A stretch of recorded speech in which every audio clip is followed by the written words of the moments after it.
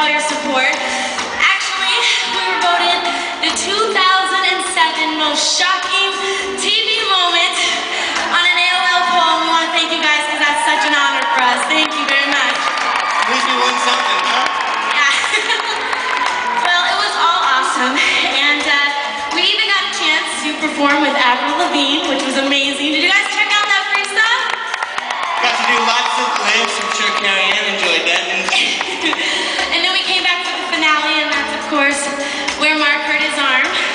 Good times. It's feeling good now.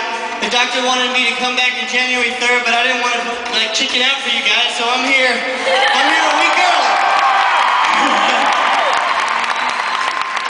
all right.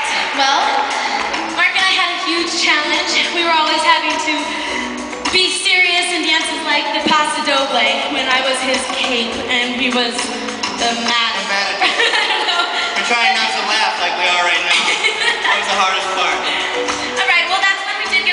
score. But enough about